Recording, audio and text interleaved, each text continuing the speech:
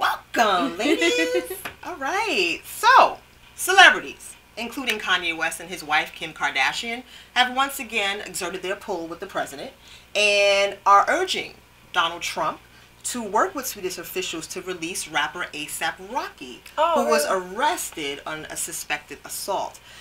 However, Justin Bieber, you know, who's also friends with ASAP Rocky, tweeted out the following I want my friend out.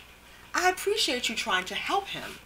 But while you're at it, real Donald Trump, can you let those kids out of cages? Okay, well, the Twitter hounds were not too happy He's with that mixing tweet. uh, efforts. He better stop. That's That's what I'm saying. multitasking. That's multitasking. Right? And they, and, they, and they weren't having it, Let's you not know. forget. I know ASAP. Like really, son. Oh, oh, I was mad. No, well, they, well, you know, people turned on the Beebs because of that. So they had a few things to say. So here's a taste of some of the responses. Uh, why didn't you ask Obama not to build the cages? Yeah, that's how it started. That's I'm that like- is how it started. And I'm like, oh, well, Oh, you don't. oh, oh, okay, okay, maybe not Oh. because he's black. I'm gonna act like that. Nobody said that. Okay, no one said that. But that's what someone said on Twitter. Someone else said his publicist told it, told him it would be a good look to address it. You're not fooling nobody. You really don't care. Someone else said, I wish these fake justice, social justice advocates felt this way about all the American children we have in cages called juvenile detention centers. So, what do you ladies think about how people, yeah, snatched Mhm. Justin Bieber's edges over his tweet? I think that if you're um, not an activist, I mean, everyone has an opinion, but there are certain st- things you shouldn't touch. You should just not touch them because what happens is you don't know if they're gonna flip.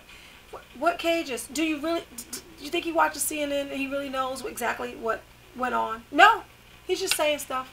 Well, he's just aware. I mean, it's everywhere. It's been everywhere. So I, I know, he but knows. he's just saying stuff. You know what I mean? you. So you didn't think it was sincere what he said? At, at all.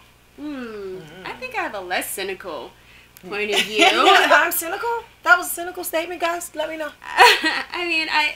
you were a queen cynic. You're such a cynic. I don't know I what mean- you're talking about. You're calling names now. You know what? Don't come from my edges. Them edges stay. Thank you. Mm-hmm. Yes, Keisha. Yeah. You were saying so. I mean, I feel like if ASAP Rocky is truly his friend, of course he's gonna voice support in the efforts to get him free because what's going on over there is pretty ridiculous. And I'll, if I have a moment, I can go into a little bit about it.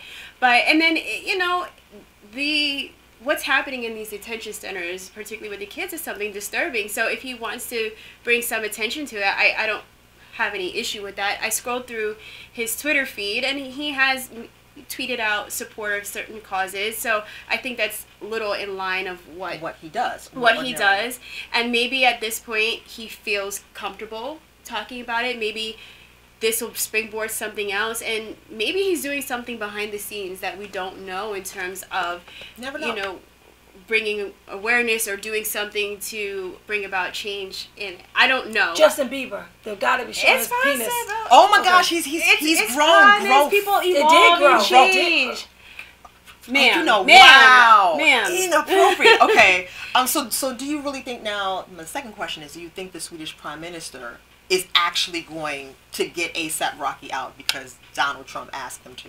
Do you think so? no Right. i think he took no. So either, I think he so took the call out of respect for the office of the Right. president of the United States, not necessarily not necessarily because it's Donald Trump.